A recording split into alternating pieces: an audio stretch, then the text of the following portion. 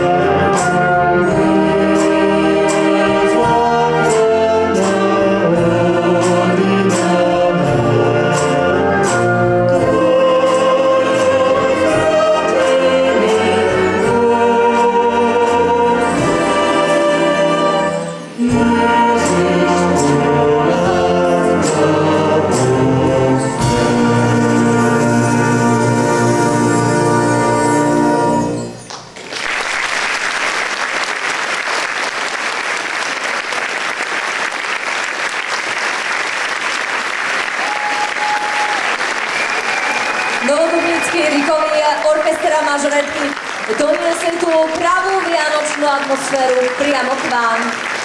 A toto je váš potlesk. Tak povedzte, čo človeku treba. Treba mu nejaké hmotné statky, nejaké peniaze. Nie stačí sedieť tu a prežívať spolu s nami túto atmosféru. To si myslím, že každý musí cítiť, ako je tu fajn. Každý musí cítiť, že tie Vianoce prichádzajú, aj keď asi nebudú biele. No a čo? Ja si myslím, pán dirigent, ja poviem menovite pán dirigent Antonín Matera, hlavne ten za toto všetko môže, treba vyzdvihnúť jeho osobnosť a tento potlesk si žiada takú malú odmenu, tak čo pridáme? Ale my sa s vami už predbežne radšej rozlúčime. Však Mirka, ďakujeme, že ste prišli, ďakujeme, že ste tu spolu s nami, teda spolu s orchestrom vyrobili naozaj perfektnú atmosféru. No a ten prídavok bude... Mhm.